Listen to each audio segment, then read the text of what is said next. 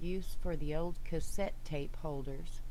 Simply open it up, set it on its side, then stand your phone in it so you can watch videos, listen to music, anywhere you're at. If you're wanting to make a great home cleaner, just an overall good cleaner for your home, it can clean mirrors, glass, counters, whatever. Get yourself some water, some vinegar, and some dish soap. You're going to use one part vinegar, three parts water, and a few drops of dish soap.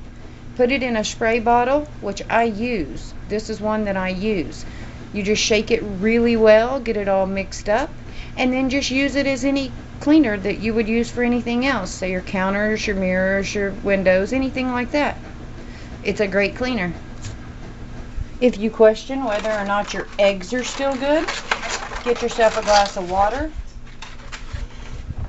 Carefully drop your egg into the water.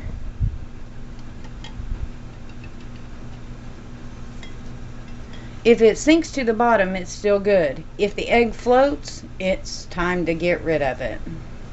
So if it seems to you like your paper shredder is getting a little bit dull, treat it just like you would a pair of scissors.